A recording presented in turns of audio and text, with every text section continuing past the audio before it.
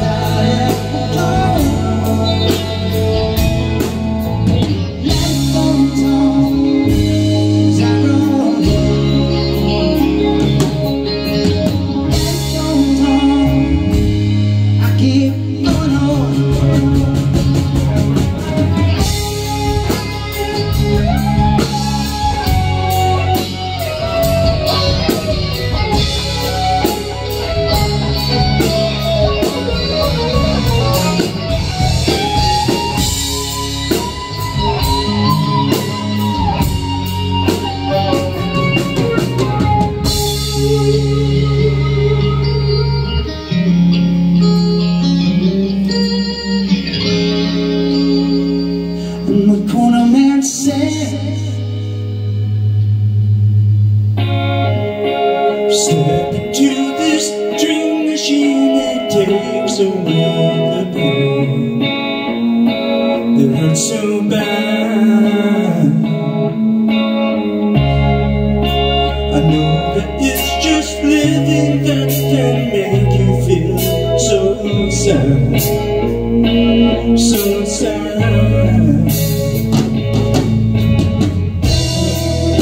And you know you better go. Home You think last you very long at all. Step into this dream machine.